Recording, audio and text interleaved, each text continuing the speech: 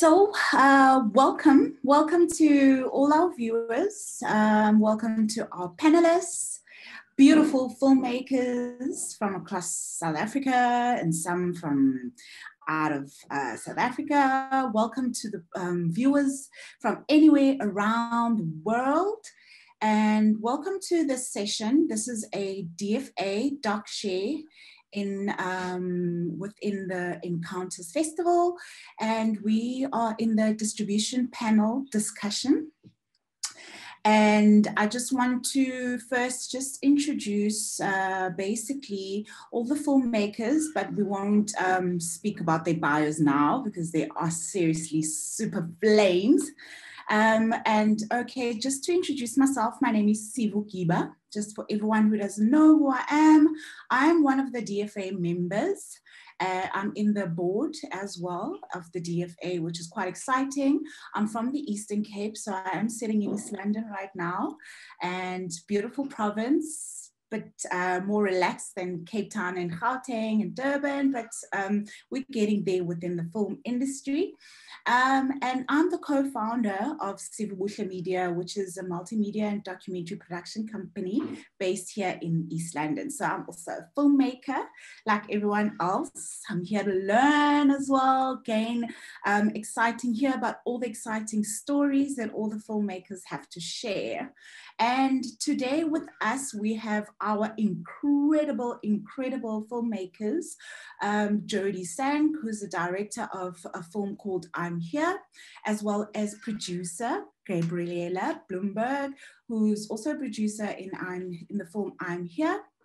We also have in our panels, we have um, a film called The Colonel's Stray Dogs and the director slash film, I mean, uh, director slash producer, Khalid Shamis is also amongst us today, as well as producers Steven Markovitz, as well as Tamsin Ranger. And um, last and not least, within our panels, we have um, a film called I, Mary, and the director is Aliki Saragas. Uh, sorry, I don't know how to pronounce that very well. If um, she'll help me when she comes along, when she speaks and also producer Bridget Pickering. Um, I just want to welcome, give you a warm, warm welcome to the panelists today. We're going to have um, a beautiful discussion. I just want us to make this very relaxed and, you know, it's all about um, conversations. You know, it's not like a formal, um, try to make it strict or formal, um, please chip in and let's make it interactive as best as possible and make it exciting. It's a Friday. Hope everybody has their coffee and I don't know, anything else to drink is all good in the session. It's 11 o'clock. So yeah, anything goes. Um, I just want to introduce what DocShare initiative is all about. Um, this is an initiative from the Documentary Filmmakers Association of South Africa. And DocShare really is all about creating opportunities um, especially from experienced filmmakers, um, film professionals. They um, should share their knowledge um, and engage with, you know, anything that is relevant within the film industry, um, from issues to excitement to any um, you know ways of how you can be a lead documentary filmmaker. Um, we have our members on board also joining us to listen in um, in the conversations so the big aim of why we're doing this is to be able to create and share knowledge and experiences that are coming from experienced filmmakers who have won awards, who have had their films um, screened in different platforms around the world. Um, we'd like to share with those aspiring and upcoming filmmakers who really want to understand how to break into the industry being documentary filmmakers. As we know that that um, this type of uh, genre of filmmaking is very different from your features um, and also maybe your short stories as well. So it's it's a very interesting genre, and that's the reason why we are creating these particular platforms so that people can learn how to create their content and put it out there for everyone to see. So it's all about engagement, and I look forward to hearing from everyone who is going to be um, giving us the, the um, information about their films.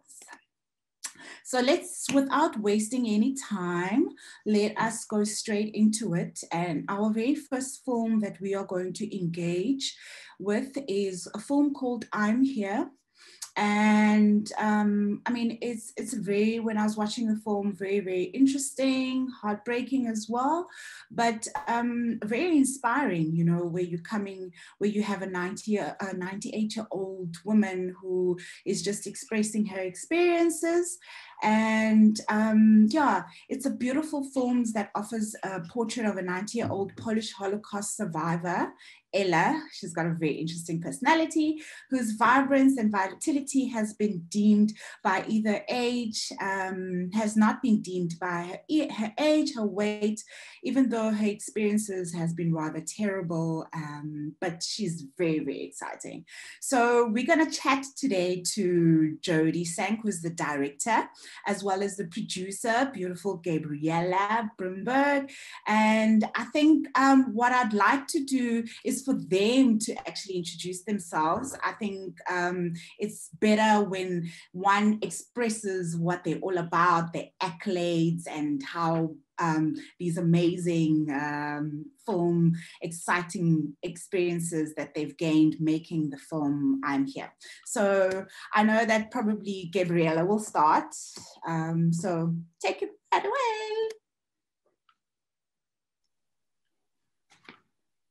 Hello, hello. Thanks for having us. Um, and I'm actually going to let Jordy start this one. Great. Okay. Um, yeah, so just wanting to say a big thank you to the DFA, to Encounters. Um, I must say, um, Gabriella and I are, are pretty new actually to, you know, this is our first feature documentary. We've been working on the documentary for two years now. And, um, you know, sort of, we sort of I guess, the lightweights on this panel. Um, and you know, just to be on the, the panel with such incredible documentary directors and producers, um, we're really just so honored to uh, to share on this panel with you. Um, so just if I could share my screen, um, and I will show you, Gabriella, and I will take you through a, a brief presentation. I think Sivu um, summed up the film um, extremely well. you know, it's a Holocaust survivor story, but we really, really just wanted to focus mainly on the present day life of this of this extraordinary 98 year, year old woman who just lives with such a zest for life and vitality that we've really never seen in in someone before. And despite what she's been through, she's sort of teaching us all lessons on how to live life with positivity and just uh, um, incredible energy.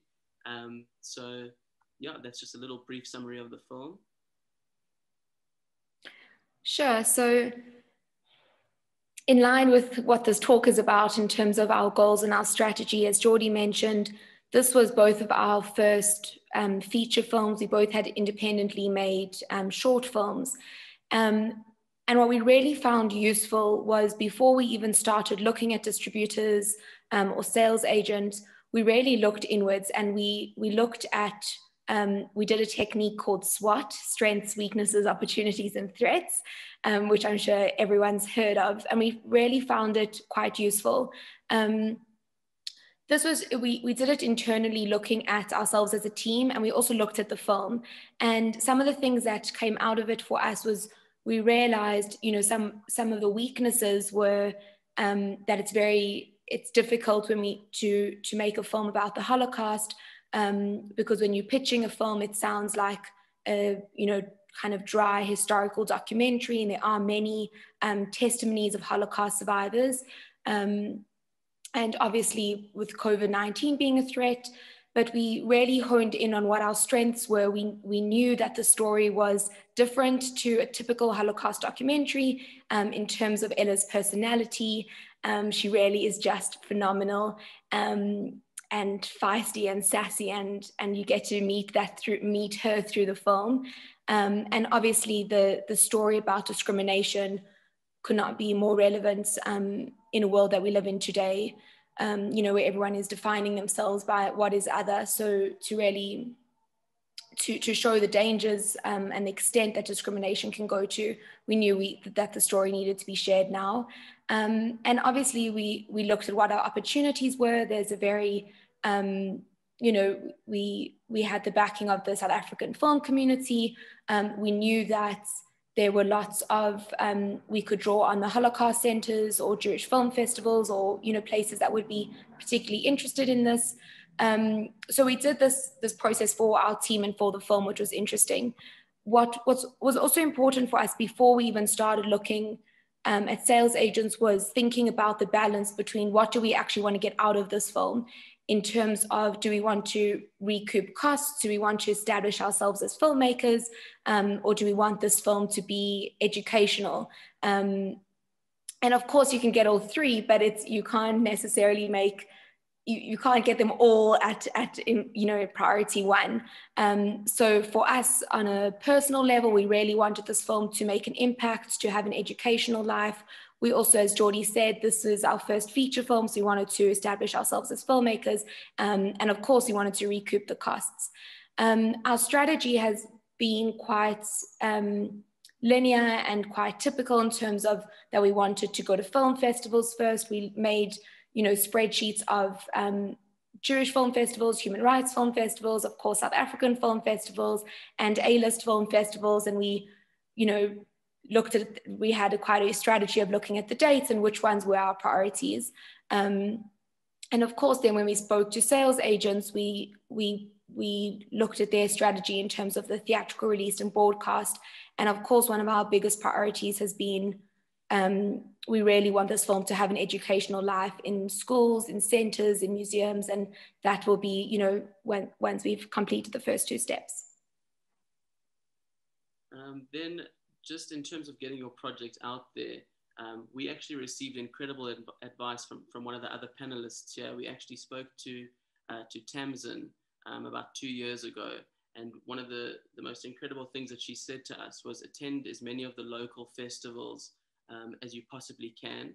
And you know that, that that'll help you understand the industry. It'll help you network, and that's what we did. We we went to uh, the Durban International Film Festival in 2019. Uh, we sent out about probably a hundred emails of different people trying to set up meetings with all international uh, people there, and um, we probably got about 10 to 15 replies, and we set up about 10 to 15 meetings, which was was great from having no meetings to at least having 15. And I must say that those 15 people that we spoke to really helped shape the film because we were still busy editing. And also, not only that, it also helped us understand what, what different people in the film industry are looking at and what distributors are actually and the festivals are actually wanting from the film. So uh, that was incredible advice. Um, and I, I, just think also in, in, in COVID right now, one thing that Gabby, Gabby and I realized as well is um, we had uh, an opportunity because of all the festivals going online um, you know, we, we wouldn't necessarily fly to uh, to Cannes or, or, or somewhere international because of the massive costs of accommodation and flights. But there were certain festivals that we were actually able to attend and to network and to um, to listen to talks from um, because it was all online. So that was just a really a, actually a positive of uh, of what we saw happening with COVID. Um, and what we did is we actually just reached out to a lot of filmmakers um, at encounters last year, um, at the virtual encounters, we listened to so many talks. And, um, you know, when a talk really spoke to us, we reached out to those documentary filmmakers and, you know, we asked for meetings and a lot of them were, were really incredible with getting advice for us on impact strategy, on, on uh, you know, sort of the next sort of steps for our film.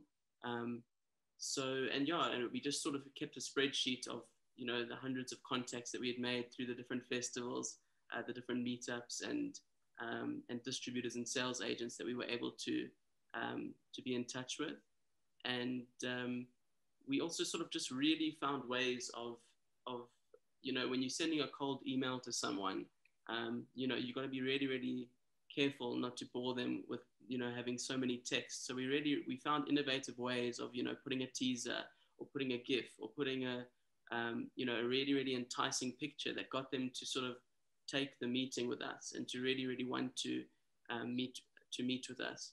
Um, and then one more thing I'll, I'll just add is um, when we signed on to the Marché du Film with Cannes, we got access to an application called Cinando, um, which I really think everyone should look should look into. Um, basically, Cinando is a platform that connects filmmakers, distributors, sales agents, and you know we really were able on that application to see which distributors and sales agents were interested in different types of films and what films they had on their slate and you know all of their contact information is actually on that site so uh, that was really vital in us reaching out to the sales agent that we eventually went with uh, in the end yeah i think um, as Jordy's mentioning we you know we came into the projects um, without any experience in sales and distribution. Like when we started this project, we thought we're going to film Ella, we're going to film her testimony. We'll be done like two months later. like we, we didn't, you know, um, we didn't realize the journey that this film needed to go on.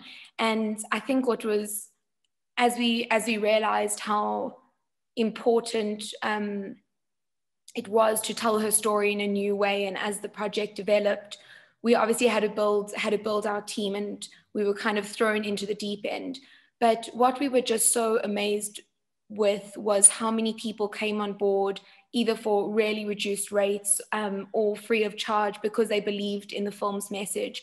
Um, you know whether that was publicists or um, you know we even we we attended like some master classes they that the sundance academy had done. So you know things like this that were free that were being streamed on youtube or facebook and we reached out to people from there. Um, and even just people giving sharing their advice or giving contacts um, was just really useful for us and i think it was um, you know if, if, you if you like i just kind of think if we had watched a talk like this two years ago um, we were in a space where we really didn't know what to do um, and to know that you don't have to reinvent the wheel, just ask for advice and people are willing to give it. Um, I think one of those things that were really useful was speaking to um, producers and directors, um, also who had, you know, first time um, feature filmmakers, documentary filmmakers, asking them what their process was, what they did right, what they did wrong. We're looking for distributors. Um, and it was also really, um, we kind of honed in on our, the key, you know, points where where we would need advice and if we didn't get a response from somebody first we obviously we weren't going to spam people but we um, sent another email to to check in and i think um, you know we keep mentioning our spreadsheets but it was really useful to to update our um, our spreadsheets as we went along and it just um, also kind of holds you in good stead for the next film because then you've got you know your list of um, which you know which films are, were similar to yours. You've got a list of distributors. You've got a list you, um, of film festivals and their timelines. So it really just was useful to be organized.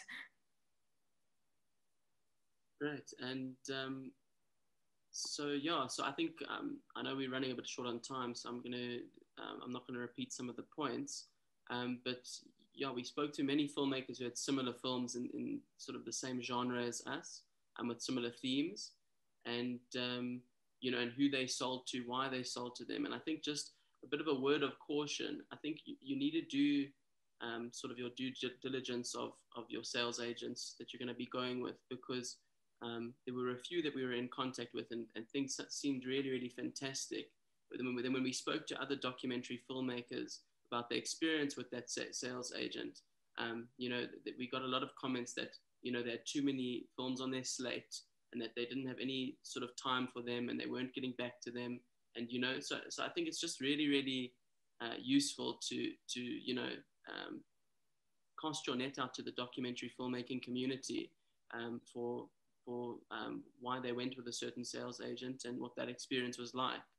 Um, and then yeah we also we had a, a really long list of questions um, that we would ask our sales agent um, just like you know to sort of tick all the boxes for us. And then I think really what, you, what you'll find is someone who's really passionate about the message of the story and who believes in the film, when it comes down to the nitty gritty of discussing the finances and legalities, you'll see that they, they're a lot more open and, you know, they want you to be happy as well.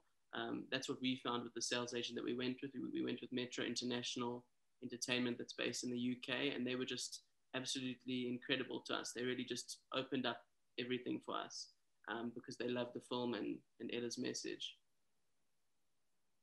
Sure. I think just to to sum up, there's you know when as I mentioned when we came into this, we had this big misconception I think about the film industry that um, that people aren't um, aren't happy to share advice or you know you have to have a network as you go in and you have to know people and you have to have all these connections and it really was just eye opening to um, and I think quite humbling to say we don't we don't need to reinvent the wheel. Let's ask people. Let's ask for advice, and we just were um, are so grateful for the people that took time um, to invest in you know just give us give us time um, give us their advice and you know we would love to do that for um, for anyone who's watching this panel or who wants advice on their film you can feel free to reach out feel free to reach out to us. Um, I think, yeah, just I just keep thinking of us two years ago when we started this this film, and to be on to be on this panel, um, it really is a privilege. And thanks for having us. Oh, brilliant, brilliant, brilliant. Thank you so much, Jody and Gabriella. That was fantastic. Really, really beautiful to hear from you guys. Um, I'm not going to speak so much, but just they didn't mention a little bit about the fact that Jody's film, The Locket, was once nominated for SAFTAs. And also Gabriella has also, when she was a student, she was um, she won best uh, short film, which was really, really quite brilliant. So um, really, really, we clap hands. We've got um, one question that we can definitely go straight into. Um, and I'm just going to go straight into the questions now. Um, this is from Neely uh, Puchigali. And he says that um, which are which other ways of distribution did you guys go through personally instead of uh, perhaps the recommending to talk to people etc etc i think that also adds to did you guys have um, distribution in mind specifically when you started out the film considering that you have slight bit of experience in what it means for distributing your films Sure. Um, so I think for us, um, we really had no no background in distribution, but what helped us is that you know when the film was still in the edit, we we were looking for distributors because I think we just knew that you know it was almost like a foreign concept for us. We had like zero interactions of distribution. So for us, from an early stage, still in the edit, uh, we were were working on distribution and still trying to you know, come up with a marketing strategy of how to entice um, your, the distributors and what's going to sort of whet their palate so that they'd actually want to be involved in the film. Um, so, so yeah, that's that's really where we where we started um, on our distribution journey. Gab, I don't know if you have anything to add on that. Yeah, I think it was also for us just understanding um, what sales agents do, understanding obviously it's difficult to speak to distributors as um, as a first time um, production company because they won't take unsolicited content. So realizing, um, you know, we then looked at different sales agents and tried to find the, the a good fit for that.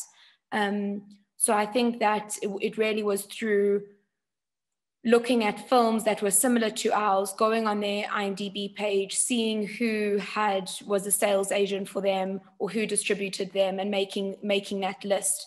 Um, so that that was you know that was how we how how we kind of looked found our options.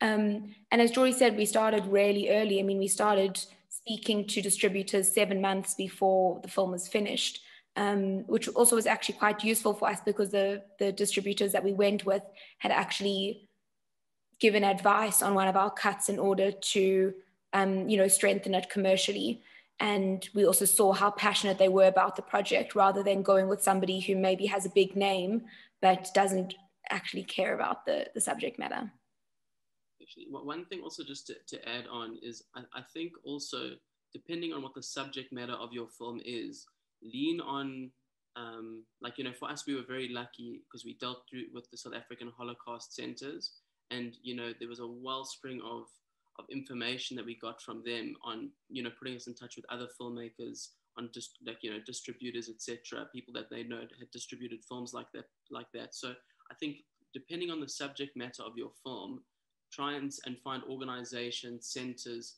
that you know might have the connections and be able to sort of guide you in the in the right direction Absolutely spot on. Um, really appreciate that.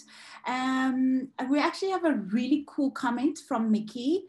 Um, and she says, there's one last question. So the comment and then the last question, then we go to the next awesome filmmakers. So she says, um, I can really commend Jody and Gabriella um, for their strategic measured processes. I think that's also really brilliant.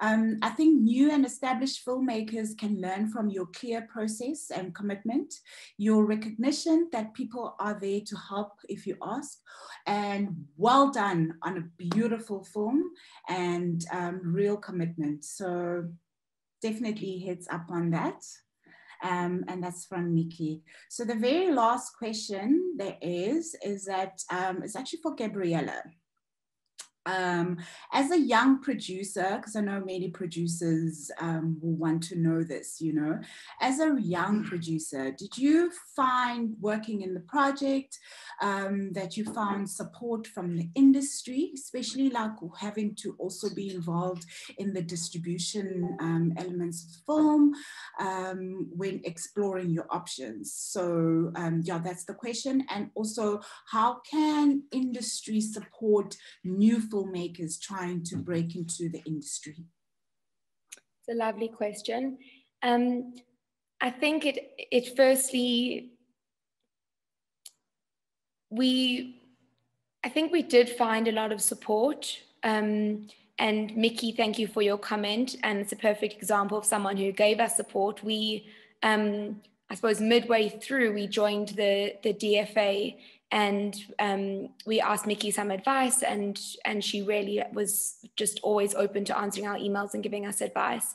I think the biggest um, learning curve um, both I, I, actually study directing so this was both of my Jordy and our um, you know first time making the production decisions um, so I think that one of the the biggest things that we found difficult was even looking for um, you know like templates for budget and post-production schedules and a lot of things that we had been involved in on a short film but not on a feature. So i think what we found useful and um, i think it also answers your second question about industry events is having um, talks sharing resources um, all of those legal documents and financial documents that you need. It's a business. Um, and I think that was the biggest learning curve for us and, and, what, and what would be most useful to be shared.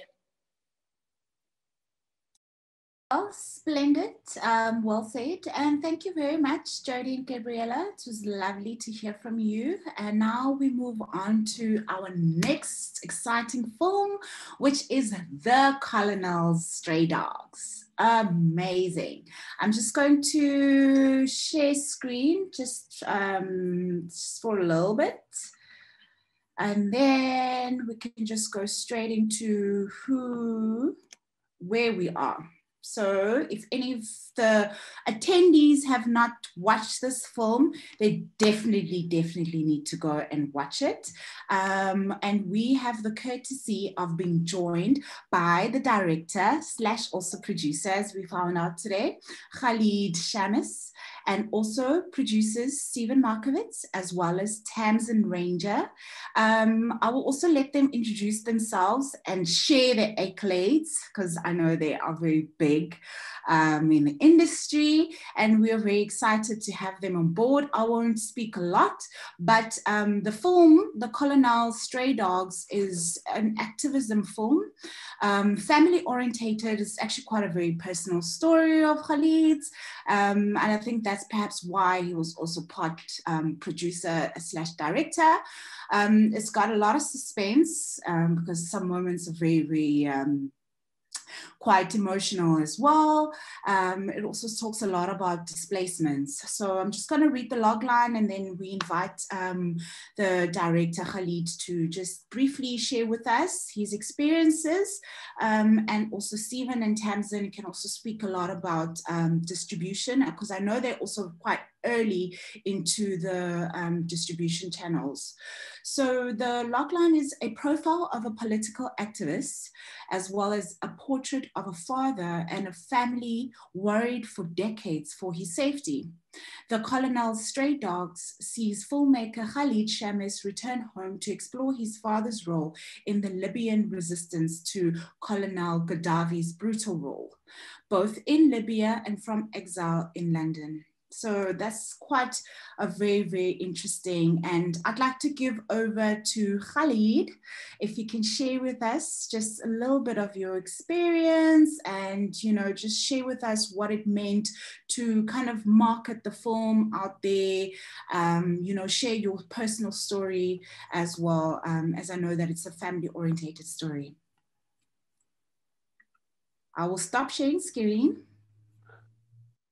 Hello, everyone. Hi, Sivu. Thank you for being seeing you again and for Encounters for hosting us. And um, hello to our uh, other projects like really great films and filmmakers. Nice to be here with you. Um, I um, it's interesting you say that uh, or the film is seen as an activism film because it never was intended that way. But thinking about it, all the films that we make have some um, form of activism in them right? Or, so it wasn't an intention in, in the film, but I guess my father is an activist, and maybe what the story talks to in some of its themes um, have that kind of quality. So um, uh, thank you for uh, for introducing it. I think we, we uh, maybe best to start if we start with Steven and then talking about the overall strategy, and we can get into the into the personal of the film because you know, Steven and Tamsin have lots more experience than I do with distribution and these kind of strategies. Um, so yeah, better to hear from them first. Thank you. Thanks, Khalid, and yeah, thank you for inviting us to this panel. And uh, and Sivu, I just wanted to ask you earlier. You said it's eleven o'clock, anything goes, and I want to know what how far we can go. But uh, I don't know if you meant it's time for an early weekend, but uh, I'm up for it. And also just to say for, for Jordy and Gabriella, that was a great presentation. And I think it's really good to hear all of that because I think there's a lot of lessons in that about being systematic and being uh, tenacious. Uh, and um, and I think that's the kind of energy one should bring to, to the films that we make. Uh, so I'm just going to do a brief introduction and then um, Tamsin's going to talk about festivals. I'll talk about sales agents. And then Khalid will talk about something much deeper than all of that. Um, so, um, yeah, I think, you know, when Khalid brought us this project, um, we, I was quite uh, uh, uh, very happy that he brought it to us. I mean, he could have taken it to to lots of people. And uh, I think, you know, one thing I've learned is the longer I do this, the less I know. And it sounds just like a phrase, but it really is true is that I think that you can, you, when you look at a film, you really got to ask yourself, why do I want to make this film? What is the like real intention behind it? And often one has surface intention and deeper intentions. And I think we've really got to question that a lot and then you want we all want to make films that are successful and uh, you know what does success look for uh, us uh, it can mean different things uh, as was mentioned earlier like what are your real aims for the project and what i mean by knowing less as i as I do this longer is that you never know if a film is going to do well or not. It's like every time I'm surprised at a film which I thought would be quite humble and it ended up having a really good life, and vice versa. So I think all one's got is one's instinct. Uh, and also, what's really important is who you work with, is that you, you believe that there's trust and respect and like something mutually beneficial in that relationship, I think is really important um, uh, because you're going to go down a long road together and it's going to be tested and uh, you really need to, to stick together. So yeah, we when we set out to to uh, uh, uh, work on this film, I think Khalid had already raised a bit of development money, and uh, we went down a long road. I know Khalid's work like started on this project ten years ago, and uh, I think we got involved probably about seven years ago. I'm not, yeah, something like that. So it's been a long road, and I think you know making these films it's not always rational. It's certainly not uh, fun, often financially uh, very attractive, but uh, for me, it was an important film to work on. Uh, and um, and I think that uh, I think what Jordy and Gabriella were saying earlier is really important about this, you know, being tenacious and approaching lots of people uh, and doing due diligence. So I'm not going to go much further. I, I think that that uh, I'm going to ask Khalid to just talk a bit about, about what the film is about and, and what it meant to him. And then we'll go on to Tamsin, and then I'll talk about sales agents, and we'll come back to Khalid at the end. Thanks, Steven. Yeah, yeah. I also want to applaud um, Jordy and Gabriella's presentation and their way of going into it. I, I certainly am not, uh, don't have those strategies. I have other, I'm tenacious in other ways, which I guess talks to perseverance, right? When you make you make this film over a long time. So yeah, just briefly, I mean, the film is about, you know, it's been in the uh, in the in my life for all my life, and um, it's about my father who's who was exiled from Libya when Gaddafi came into power in '69, and then since then uh, he'd been living in London, where he met my mother, and we grew up. And since then, he always maintained this opposition to this government that came in. And um, uh, soon after he was, soon after Gaddafi was in power, after a few years, my dad was on a blacklist. He couldn't go back. And then five years after that, by the early 80s, Gaddafi was sending out hit squads to kill um, and take out opponents abroad. And so my father was on that list and him and his some of the, his colleagues um, in exile organized one of the major oppositions to uh, the Gaddafi's Libya in exile. Um, the, the main opposition. There were others, but that, that was the main opposition. And so I lived my life, my young life, with this, you know, my father dreaming of Libya, dreaming of going back, and at the same time um, uh, organizing to take Gaddafi out with, you know, through various means, military means, um, and which went into journalism and uh, expose. And eventually, it was um, it was the people of Libya who, who got rid of Gaddafi and Gaddafi's Libya um, in 2011. And then a whole other story opens up about the void. So the, the film kind of looks at this uh, modern historic, his, the modern history of Libya the political history, um, and this very personal, private space of exile, and um, you know, the son or myself you know, uh, questioning my father about the moves he made when we were youngsters, and what Libya now, the dream of Libya now, means to him now. Um, so it tries to balance the, the, the personal and political.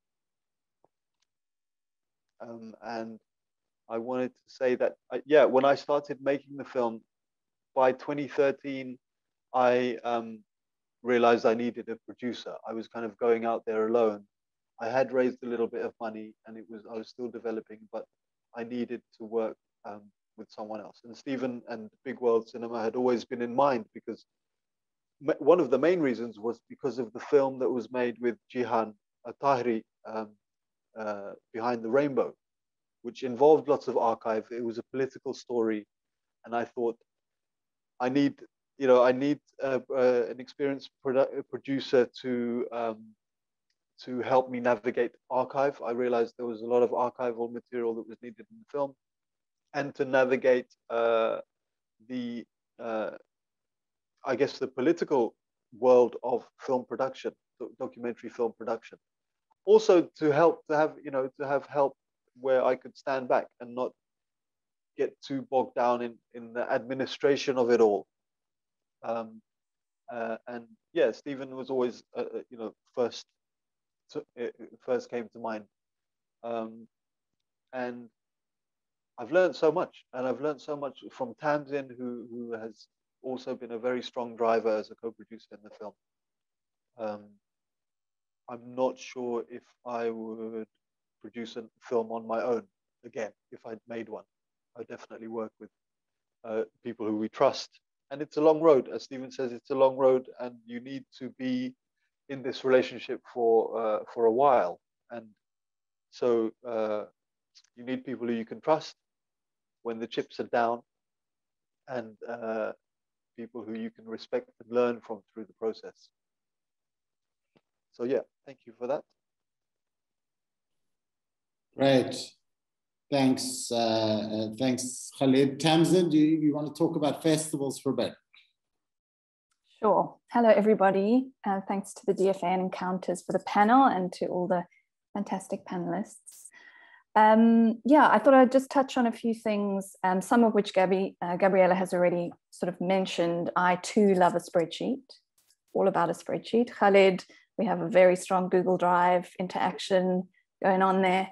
Um, but yeah, I'll just touch on what sort of what our strategy is, which I'm sure is familiar to all the panelists and, and I'm sure a lot of the the people watching, um, but hopefully something in there for everybody else. Um, yeah, basically with our festival strategy, I think what's always exciting is to aim big, um, you know, to aim high. So, you know, we, we, we've been lucky to attend a lot of festivals, to have films at festivals. So we do have a good sense um, of sort of the festivals that are out there, what they're looking for, the kinds of films that they program. Uh, and I think there will be resources through the DFA as well to guide uh, filmmakers um, to sort of give them guidance to the lay of the land in terms of the festival landscape. Um, but yeah, so we we obviously thought about world premiere and then of course all the different regional premieres. What would be the sort of first prize for each region? So North America, Europe, uh, United Kingdom, Africa. Um, so you aim high, you do your submissions, or maybe you know a programmer and you're able to communicate directly with them and send a link, or you get uh, a link gets requested, all that, all that process. And of course, sometimes you don't get in. Um, as Khalid indicated, sometimes the chips feel down for a while. Um, and uh, you keep going. And we did obviously get some rejections to festivals that we perhaps hoped might take the film. Um, we were very lucky to have a, a you know fantastic world premiere with Hot Docs in Toronto. Um, also, as, as and Gabriella touched on, you know, the COVID landscape has changed festivals, has changed distribution, and has changed the sort of um, the film consumption experience um, and the and the festival experience. So Khalid, of course, wasn't wasn't there and didn't get to have that moment with an audience in the room and to network and to have you know that to get that live sort of feedback. Um, but yeah basically we just we're still as as um, Sivu mentioned we're quite early in our distribution process. So we have identified the sort of festivals in different regions that we would still we either have applied to or waiting to hear from um, so we do definitely think about the regions and the best festival in that region so we obviously very, very pleased to have our African um, joint premiere with Encounters and DIFF uh, for this film. And then uh, still looking for, you know, European and Middle East, North African premieres.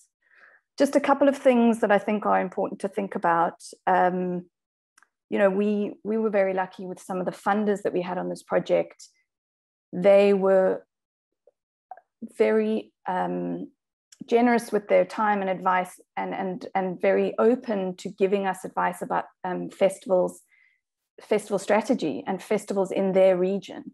So, um, for example, the, the Doha Film Institute, uh, the, the grant manager there is incredibly generous and gives great advice about premieres, uh, about festivals in uh, sort of the Middle East and North Africa. So I think that's always great. And I'm sure, you know, the NFVF would do the same and different funders can give advice as well. And I think hopefully we all generate uh, good relationships with those funders. And I think that's a real resource to lean on um, if you have received some funding is to um, have a conversation, have a chat, get their buy-in, bring them into the into the process.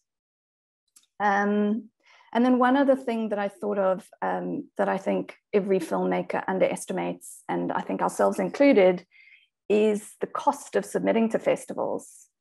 I mean, that is like its own line item. It's almost, it's not a full-time job, but it is a job.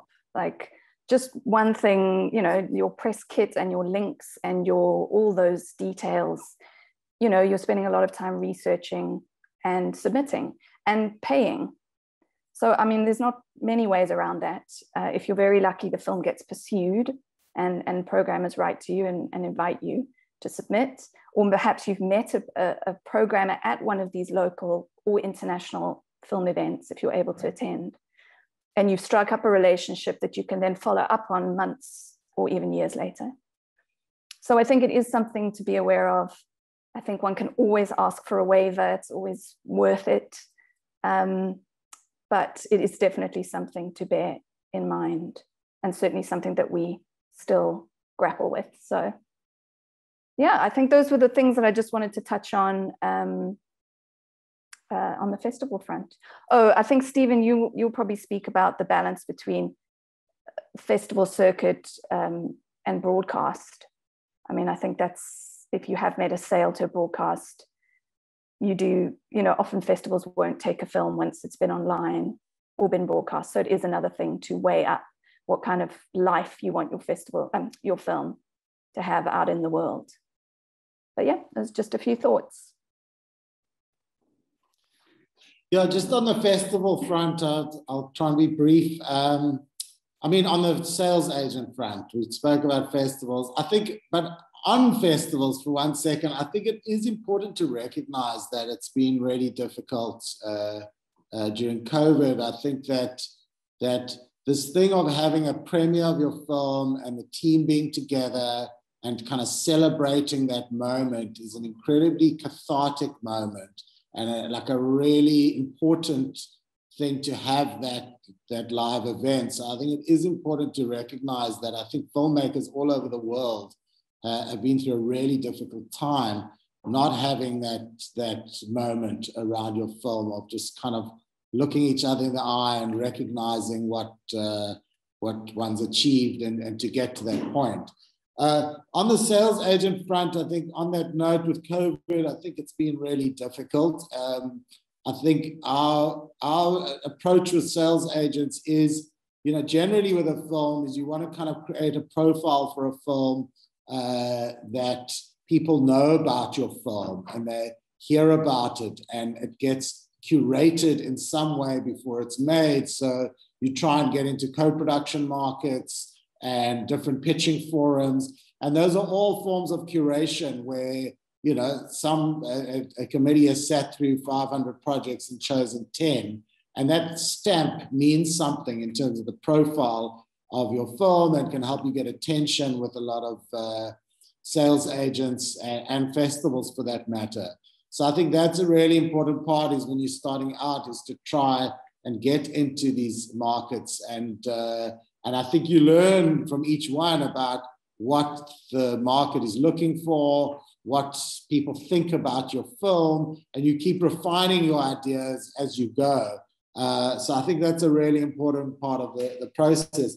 But with sales agents on this film, we approached quite a few sales agents, uh, uh, um, uh, probably about five or six initially uh, in the development phase. And it was really difficult to get anyone on board. And um, we kept going. And then, you know, often with a film, we'll uh, use a festival as a way to get a sales agent to react to us because now we have some currency. We have some, uh, you know, we kind of, we're out in the public and someone else might snap us up.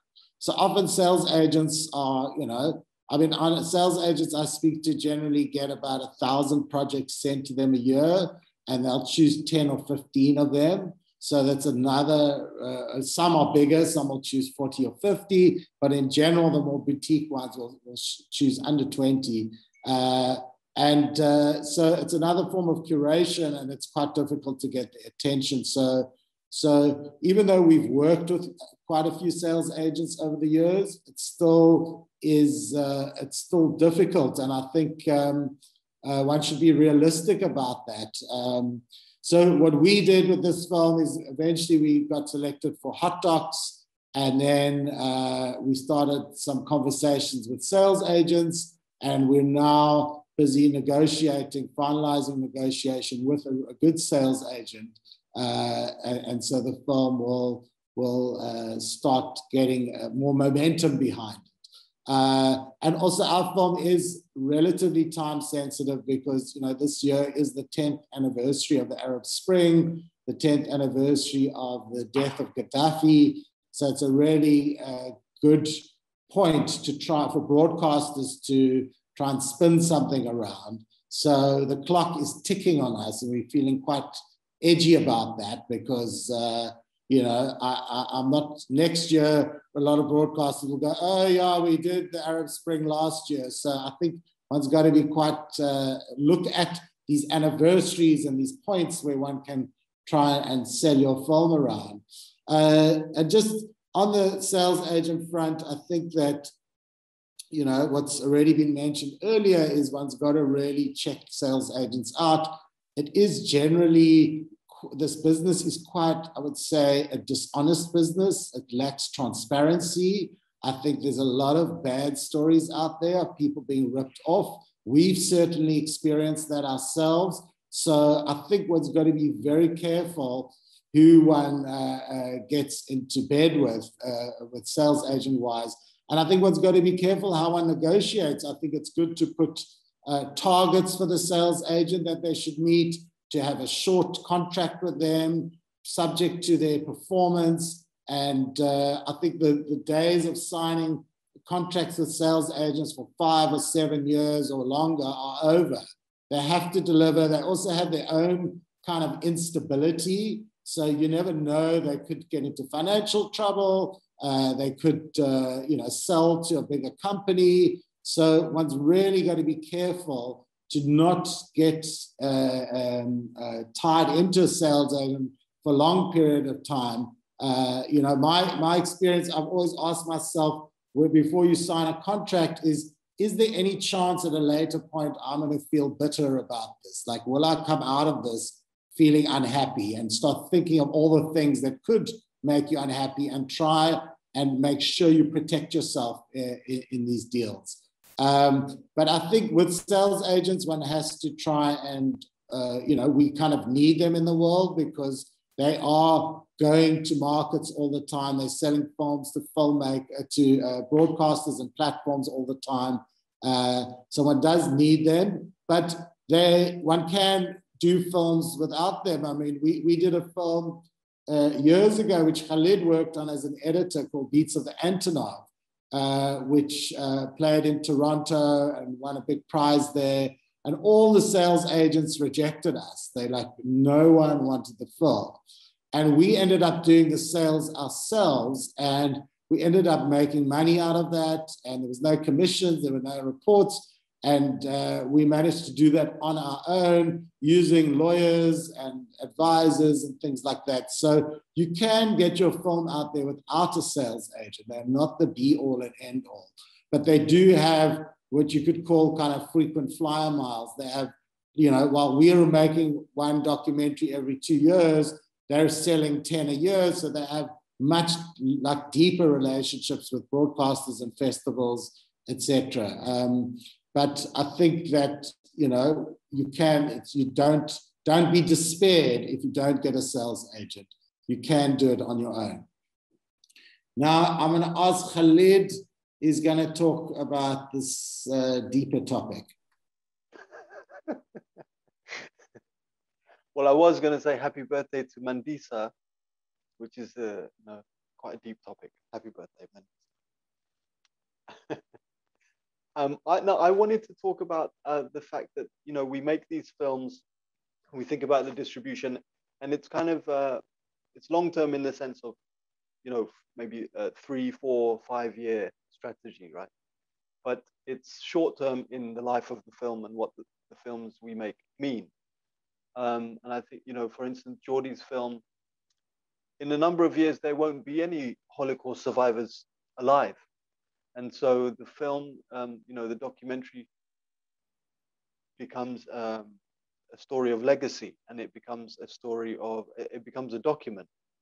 And so the film and, and Aliki's film, albinism and, and uh, prejudices around it are not going to go away anytime soon.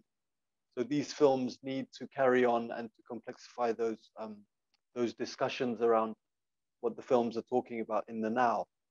Um, my film also aims to complexify the narrate the, the, the narrative of Libya and the narrative of Gaddafi um, if you do a search on films about Libya, you'll see most of them are about Gaddafi.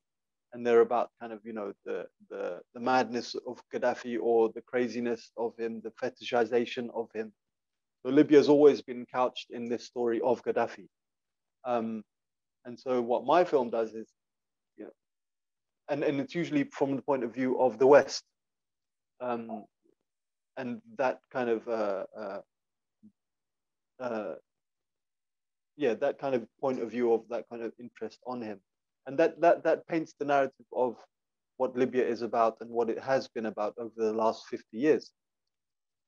And so my film tries to complexify that and tries to, to, to give a different point of view from Libyans um, who uh, lived under Gaddafi and who, opposed, who opposed him. So I think it's important then when we talk about getting our films out there or the distribution of the film. It's also a long, long, longer term goal, and it's about legacy and it's about history, uh, story, you know, history making, especially making films from the continent. Um, we want to not just have a, you know, a, a, a small minded view of Africa, and um, that's why it's important, that we make films here on the continent about ourselves.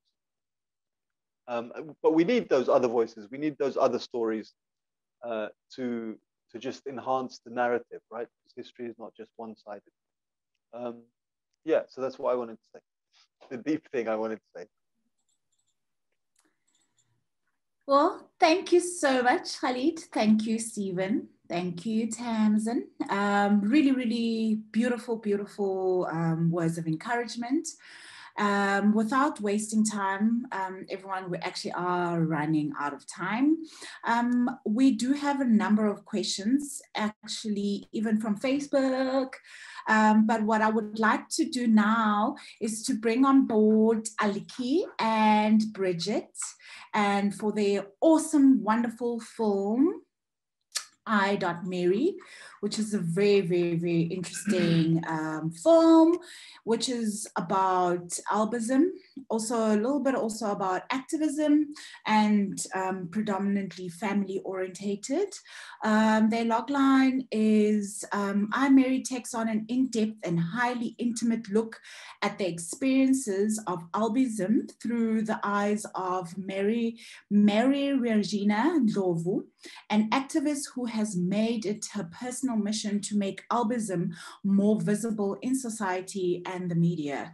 I think this is a really, really important story in South Africa, um, throughout the world, in fact. And I think, you know, it's brilliant that we have the beautiful ladies um, as part of our panelists to discuss um, ways of how they actually distributed the film and how they got the film out there without um, making people not want to listen because I know there's a lot of stories about albinism, a lot of different types of stories, but I think this one is very heartfelt. Um, and take it away, ladies. Definitely love to hear from you. Um, we'll take questions way after um, Aliki and Bridget have finished, and so that we can um, continue with the conversations to the end. Hopefully, we still have time. Hi, hi everyone. Uh, my name is Bridget Pickering, and um, I'm the producer for I, Mary. Um, I think what I'll have is Aliki just to maybe introduce a little bit about the film, how she met and got involved with Regina Mary, who's our key character and the protagonist of the film. And then I can step back and talk a little bit about how this film really came about because the origin of how we made the film is very much linked to a kind of distribution strategy. Aliki will then talk about its impact campaign. Um, this film is very much driven by a strategy around impact. And then I'll talk a little bit more about kind of the positioning of the film um, locally, globally, continentally, um, in terms of festivals and sales agent. So Aliki, I don't know, maybe you could just talk a little bit about um, your connection and why you made this film. Sure. Hi, everyone. Thank you for having us. It's very, very cool to be here. Thank you, Encounters. Thank you, DFA, um, and the panel. It's been really, really interesting and amazing to hear everyone speak through their journeys. Um, so for so for us and for me, this journey was was different to my previous film um, in in quite substantial ways that I think Bridget will also speak back to in in terms of the origins. But for me, um, I'm I usually like to make films on gender um, and women's stories. Um, it's just something I've kind of I think fell into, but I really did want to make a film on gender-based violence um, especially looking at you know the um, current situation in South Africa and femicide. It was always something I really wanted to do, but I, hadn't had the opportunity to do it. And um, I had met Regina Mary actually on an on an for another film that that didn't end up working out um, due to COVID and and a whole bunch of things. But I'd met her before, and her story really sat on my heart um, because I felt like it was such an intersectional lens into uh, gender-based violence um, due to her story, but also also albinism and um, and the trauma that she had to go through. But it was so much more than that. It was it was about identity, and for me, it's about the surviving of every day and the masks that you know survivors wear every day, um, and kind of this line, this liminal line of death and life so that's that's kind of um, really what I was when when when we got the opportunity to do this documentary that Bridget will go into further. It was um, we were actually commissioned to do a two-part documentary um, a series for Faces of Africa, which is a CGTN, the China Global Television Network strand. Um, and it was on, and we we were uh, you know, trying to find a story on GBV, and then that's where I thought, oh, Regina Mary, um, let's let's finally be able to tell her story. So that's um, that's kind of how it started, and then um, and then we had the opportunity that Bridget will talk talk further to after the broadcast, kind of, you know, which is also very um, it's very methodical the way that you know you you make a film for broadcast a two part series. Um, we were fortunate enough to be able to get funding to make it into a feature length film which for me was vital also for distribution and for audiences because um, you know i felt that that a feature version of the film just allowed it allowed personally as a director more space to explore the themes um, explore these layers breathing um, through the you know identity and and all these these complexities but also provided Regina Mary a larger audience that she could use as a, to for, so for the film to be used as a tool within her impact, which is really the major part of like the major really reason for the film living the way that it lives and being the way that it is.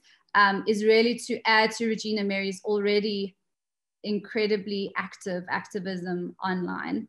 Um, she started a, um, a, a, talk show called My Voice Albinism, The New Era to re, reinsert and uh, change representations of people with albinism.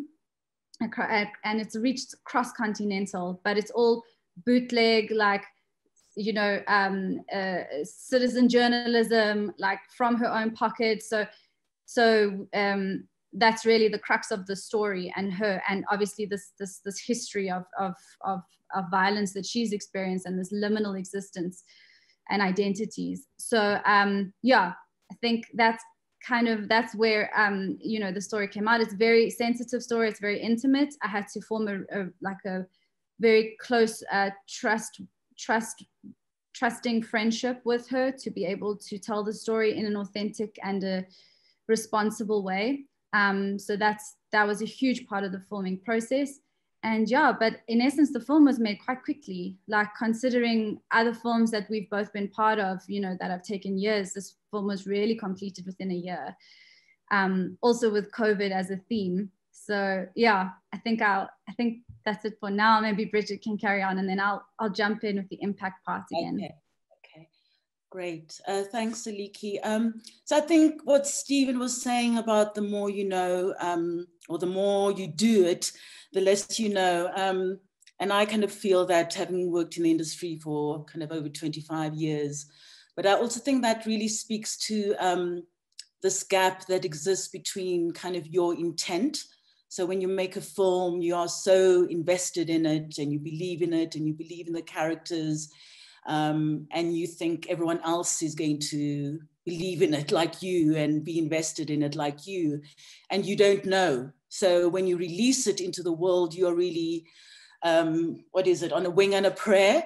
Um, that you hope that the world out there will find your film and love your film. And, and of course, that sometimes happens, but it happens in ways you could never imagine. Or so for me, um, yes, there's, there's a plan, there's an idea, but also I think there's a kind of trust um, in the intent of the film. And that's why I think it's so important to absolutely have trust and belief in your film, to have an intent, because you will get rejected. You will get people saying, oh, you know, we don't like this or that or whatever. So you have to really be the force of that continues to, to push the, the film out there. Um, and one of the things for me, uh, this was the first documentary I'd made out of almost a 10 year hiatus.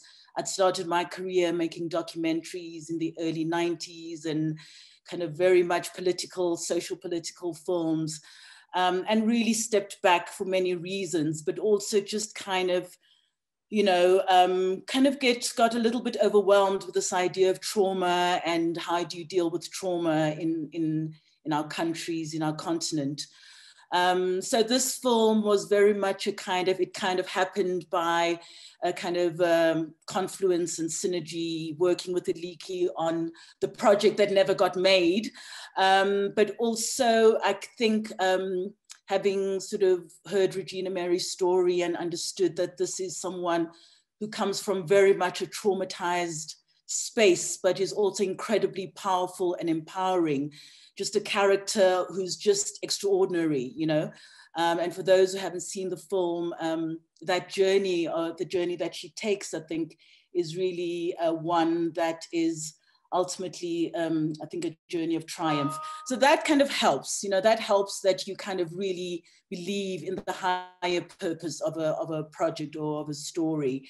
Um, the, the creation and origin of this film was much more mundane um, in the sense that it was a, a kind of commissioned piece that um, uh, a company that I used to be part of uh, had a, a, documentary slate and they were looking for a project and uh, this project um, felt right to them. But already, I think on the second day, it started off as a 24 minute, half hour film.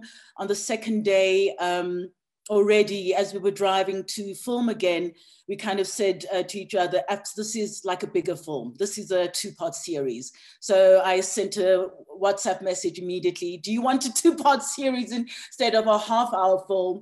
Um, because we just felt the material was incredibly, you know, I mean, you're telling the story of someone from the age of kind of eight, nine to kind of, uh, what is it, 30 years old. Um, and it's kind of a story that kind of needs to be kind of um, nurtured. You know, you can't rush a story like this. You don't want to kind of simplify it because it's so complex and deep and um, multi-layered. Um, so that kind of, that happened on day two.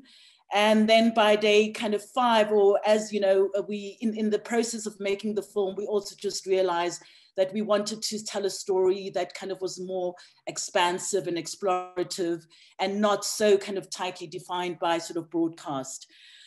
And so we kind of pitched that um, to the production company and the reality is that the footage we shot, the material we shot was owned by CGTN, which is China um, Global Television. And um, so that we kind of thought, okay, well, let's just leave it and see what happens when the when we when once they're happy with the two part series we can see if they would be willing for us to take this material and convert it into some, something kind of more cinematic. Um, they really loved the two parter it did really really well. Um, it kind of really i think in a way broke the molds for a lot of the stories and there are a lot of the kind of episodes they'd already done before. Um, and so um, the question, of course, was that if we needed to recut it, we kind of needed time and money. And simultaneously, I had been talking to a funder about the project that got dropped. So um, when we got to this recut, I went back to them and I said, oh, you know, you know, the film we were going to make, sorry, we can't make it, but do you mind if we make this other film, which kind of explores similar issues and themes. And um, it's also an incredible character. The great thing is we had the material so they could see for themselves that this was a truly kind of incredible um, story and woman. And so they said yes, and we recut the film. Um, so right away, I think for us, it was always going to be a film that was really about changing lives, about informing, about educating. Um, I mean, albinism is clearly, it's a global issue. People have albinism all over the world. Uh, I think the reason why it's so sort of, you know, I guess identified with an African kind of space is because most Africans are dark skinned. And so when you see these kind of, um, so this kind of, uh, uh, uh I guess the kind of, uh, you know, people with albinism in families, communities, um, it just, you know, it's it stands out. It's a, it's very clearly, um, you know, something that is uh, that you see the difference. So I think um, it, it, it definitely, and, and Regina Mary, as Aliki says, has is, is, is clearly an activist. Is someone who's already been out there pushing. Uh, she was already out there, kind of. Um, make you know making videos creating this uh, talk show that she put online um, but for us, definitely, um, and speaking not just to South Africa, but to the continent, um, the discrimination, the kind of the violence that exists around people with albinism is all over the continent. So for us, it was absolutely critical that we, um, we found a way to, um, to make the story available. So CGTN, and, and for many different reasons, um, felt like the right partner. We also very much so we got I Mary as this feature documentary cut, and clearly the um, the intention was always like, how do we position this film? Um, CGN will screen the feature cut at some point, but they eventually said yes, absolutely, we're happy. Go off and kind of uh, make the the film that you feel can be a stronger film that could travel globally. And so for us, it uh, Aliki will talk more about impact campaign, but I think this idea of um, you know, I, I, think Steven said this about positioning the film. What what options do you have? And festivals are it. You know, festivals are a way of really making people aware of it, whether it's audiences, whether it's sales agents, whether it's community. Um, so for us, definitely, we knew that um, we wanted to get the film out there through um, kind of festivals. Or that was in a way one of the strategies that we felt could be, um, that had to be utilized. Um, because we did want this film not to just travel because of that, the issue is global, but also because I think Regina Mary sees her, you know, she gets contacted by people from all over the world, from India, from Brazil, people all who have albinism. So she is someone, so this is a topic and an issue that is relevant um, to, to, to a global audience. So I think for us, it was look at looking at the human rights festivals, we kind of knew that it was a niche film. It's very much a niche film with the possibility of speaking to um, to a bigger audience. And uh, I mean, it's interesting that as we've shown the film in the in the in the sort of uh, so far in the two or three screenings we've had, you know, how many people come to you and say, oh yes, you know, I've got someone in my family who has albinism, and you know, this is how you know, and people are almost kind of not embarrassed, but there's a kind of kind of fear about talking about um, uh, about this. Um, so for us, definitely the idea that this could travel is all has always been part of it. So we're very much at the beginning of the strategy and of the plan. Um, we've submitted it to human rights festivals. Uh, we've already kind of got into two. And so that is really something we will pursue in terms of just looking for very specific festivals that we speak to um, human rights because I think the film does kind of cross-sect, you know, so uh, sexual violence, human rights. Um, I mean, in, in, it speaks to kind of a number of different issues. Um, and I think ideally we are looking to see also how how the film will travel um, through the continent. Um, so the funder who supported the production um, has offices uh, all over the continent, and we are looking to see how we can um, chat to them about um, about how we see this film. I mean, Regina Mary is such a critical part of the story. So at every screening so far, she's been there because in a way, her talking about this experience, her talking about the journey, her talking about her kind of transcendence is like, there's, you know, there's nothing better, you know, um, she is the person that is really, you know, the, the, the person that uh, will take the story forward um, because uh, it's her story and it's something that she wants to use to really, in a way, change the world for herself. And all we're doing is really empowering that and supporting that kind of um, journey. Um, in terms of sales agents, um, again, this is a very difficult space because it's again who who is interested in a story like this for you know um, if in the hierarchy of stories where you know you know who are what what is important um, this is clearly a story that you know when you send it to like the big sales agents or whoever you know um, it's always a kind of question of you know who's interested in this you know um, this is a story of a of a young black girl in in africa so you're fighting against all these kind of uh, notions and so um, I think uh, we definitely, but I think once people see the film, they really are just kind of captivated. I think uh, she she is, you know, this character that people fall in love with. So um, that has kind of, um, you know, when people see the film, the first thing they always say is that we love her. We think she's amazing. So I think that we're hoping that that becomes the kind of the the hook that everyone um, uh, uh, sort of uh, gets in, um, makes people want to get involved in the film.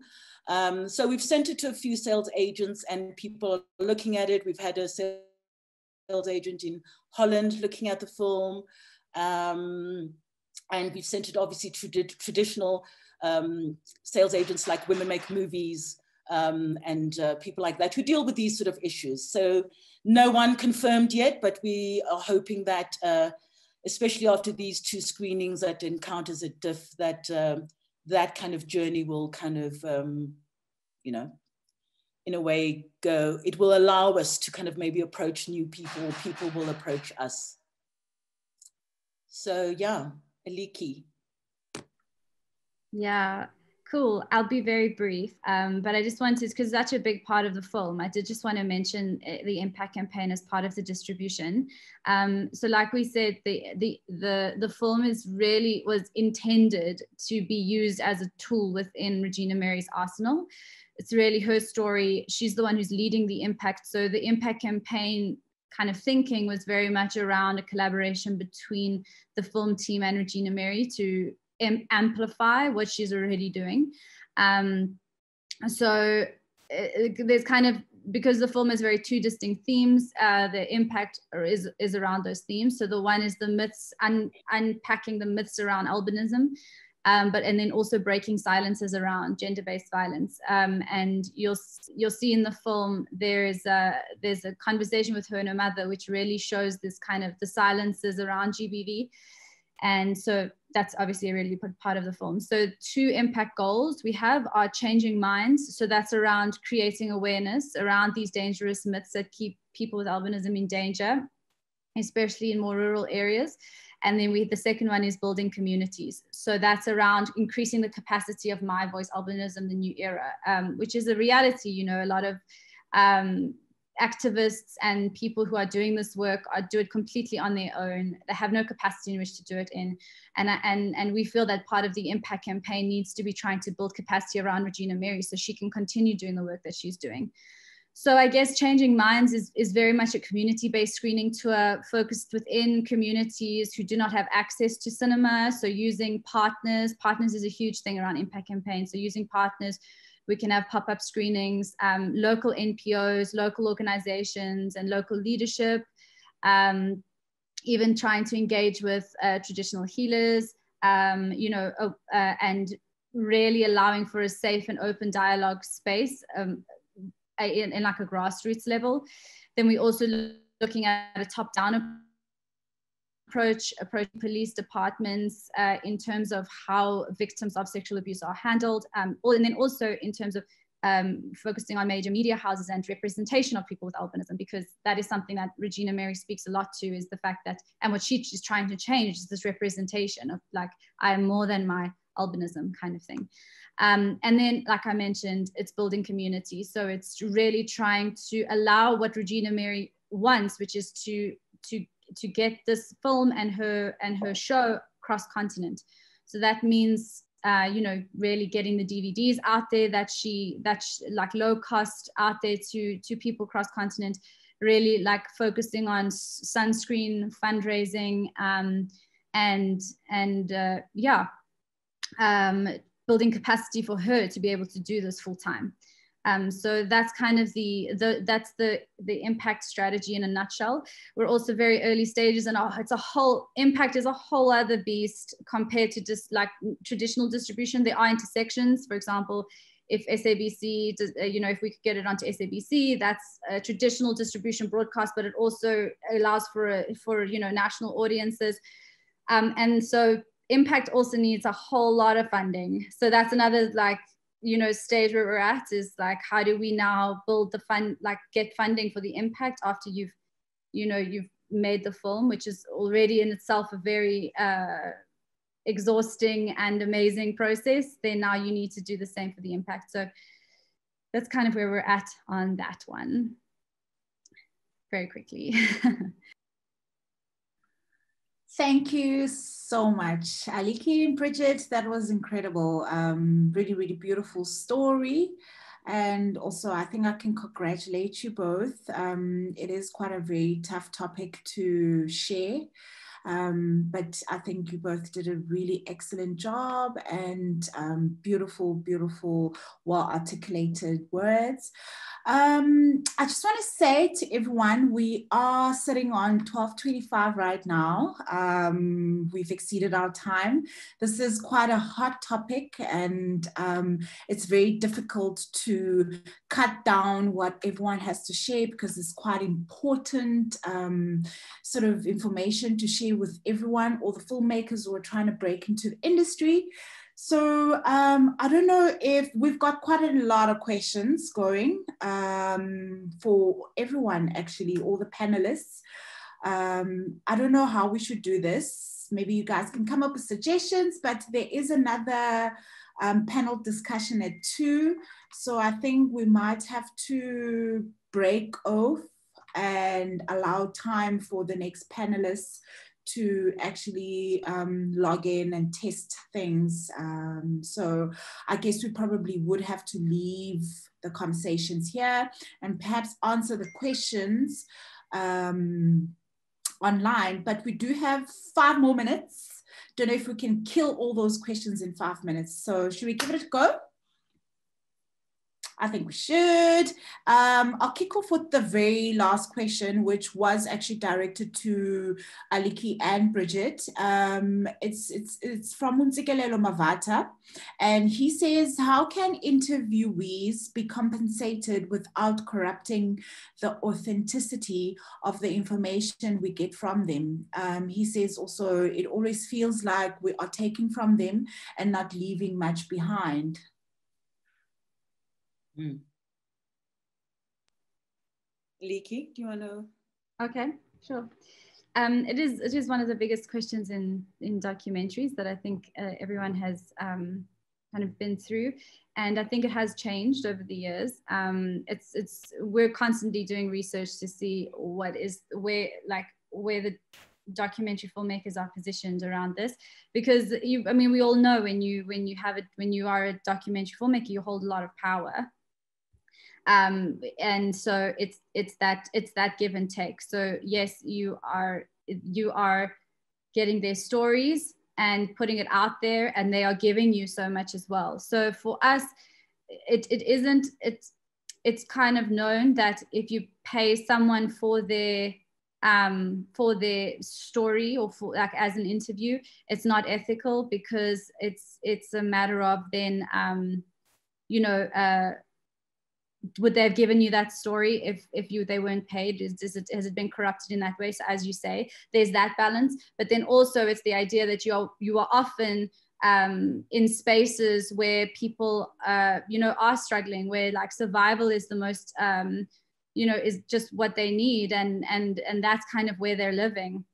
So you have to be very aware of that. So I guess the ways that we find around it is to is to support in other ways. So we um, you know, when it comes to location fees, um, you know, in, in someone's home, or it comes to going to, you know, uh, um, supporting them with with groceries or or finding ways to support them further than than than just that day of the film. If they have um, you know fundraising crowdsourcing uh, impact fundraising, like all of that to support the various projects that they have. Like that's how I guess we try to find a way to compensate because it is a very it's a it's it's it's legitimate um, and you know inside especially in South Africa you know um, it's very important to be thinking about these things. So that's at least how we try and that's how we try to do it. Obviously, everyone will be different and everyone has different ways, but yeah, that's yeah. how we try. I think uh, you also have to be quite specific. And I think with Regina Mary, we absolutely had the conversation with her at the beginning in terms of also what she felt this was about and what, what she would get out of it in a way beyond just making a film. And it is, I think, also about positioning herself that she wanted to have her story be told on the biggest platform that was possible. Um, and so that was for her important, having the material, uh, being able to use the material for her purposes, um, because she is a, um, she's also kind of a, a media personality. Um, and also, um, yeah, and being a partner on the project, you know, being a, a kind of producing partner. Um, she is a producing partner. So that is something that absolutely is always uh, front and center. So I think it really you have to sit down with your with your character or characters and really engage in that discussion up front and talk about it and see how best you can make that work for you and for them. Thank you, Bridget. Thank you, Aliki. Really, really um, informative, really brilliant on the impact strategy. Actually, for DocShare, we will have one of those sessions um, where we actually talk about impact strategy distribution. I'm going to sum up um, three questions in one. Um, this, this does go out for mostly Steven, Tamsin, um, and also, um, yeah, Brit, uh, Gabriella. So what I'm to do is that either one can answer, um, especially especially the 25 years of experience people. Um, so we basically gonna go for um, Josi. Josi was a Facebook questionnaire who asked, um, she or he was curious about what good distribution deal might look like and what do you think is the best way to negotiate as a young um, fledgling producer? I'm gonna team that question up because it's the same as uh, a question that Uveli Sangwane had asked Steven, is how early is it to connect with people, i.e. producers to distribute in order to garner some kind of momentum to build a strategy for one films? So those two questions I think um, are similar. Um, and then Michael Klein also asked um, Tamsin regarding film festival, is it feasible to get films into A-list festivals like Hot Docs by just applying through their submission platform or realistically are films chances um, helped by having a producer with a relationship history with those festivals? Um, yeah, I think those questions go together. So anyone can shoot. Maybe let's start off with Steven. Well, Tamsin, maybe you go first on the festival question. Sure. I mean, yeah, we've applied to lots of festivals just cold through a submission platform, lots uh, for lots of different projects. So it is totally feasible. Of course, there. I mean, there's no advantage. There's never any guarantees. Um, you could know a programmer personally, and that's not, not necessarily going to mean anything. So, I think yes, it's totally feasible. If you have met somebody from the programming team, if you've been funded by, you know, some film festivals have um, sort of sister funds or, or uh, affiliated funds, and maybe you've been supported by that festival, you might, your name might ring a bell, you know, but there's no guarantees in this world. So absolutely do apply cold through those platforms. We do all do it. Yeah, just just to add to that, I think there's a much higher percentage of selection of films that festival programmers have been tracking or have got them on a list, or they've met someone at another festival or uh, in a market, etc. So it does increase your chance of being noticed, but not necessarily being selected, because at the end of the day, it's not nepotism. Uh, they will select films that they want to select, not because you know they had a drink with a producer. Uh, so I think that's it does increase your chance of being noticed, but not selected. Uh, the other questions, I'll be brief because I know we're over time, uh, and I'll see if I can remember most of them. But um, I think the the how early does one start bringing attention to your film is a difficult question because you want to create momentum around your project, but also, if you pitch too loudly or too publicly very early, you can also get a, you know, you bump into the commissioning editor three years later, and they don't really understand or care of all your problems you've had. They just go like, oh, you're still making that film. It must be a bit of a problem kind of thing. So I think you do, but people who like care less, they do judge you if it takes very long. Whereas often documentary filmmakers wear it as a badge of honor. Yeah, it took me so long to make it, blah, blah, blah. I've suffered so much. The average sales agent broadcaster doesn't really care. They just think, well, if it's taken so long, obviously a lot of people have rejected you. And so there must be something like problematic with this film. So I think one should be careful not to make too much of a noise too early about your film. Uh, and uh, because I think you can, unless you know you're able to make it in quite a relatively short space of time. And by that, I would say that would be like one to two or three years. Uh, um, and I've certainly made that mistake of making a big noise very early and then people ask me 10 years later, uh, how's that film going? You know, so, So it's definitely uh, something to to watch out for. Um, so yeah, I think uh, be careful of that. Uh, were there other questions that we haven't covered? Um, no, Steven, you have covered all the questions. Thank you very much. Thank you, Tamsin. Um, I don't know if Gabriella wanted to add something to that. Yes, actually, I was going to say yes, Gabriella. If you'd like to add something to that, please also include the fact that um, how this was a question from Pablo. How was your approach to getting into um, encounters and also DFM, um, also with emails that you had to respond, um, and how did you conduct the 10 to 15 emails, um, considering the distributors, funders, and festivals? Sure. I think um, I'll answer that question first. We, when, um, yeah, exactly. You know, Jordy mentioned that Tamsin had given us advice to attend the Durban um, FilmMart, and we went on the list of delegates, and I suppose we broke it down into who are you know directors or producers you know fellow filmmakers that we wanted to ask their advice on on their journey.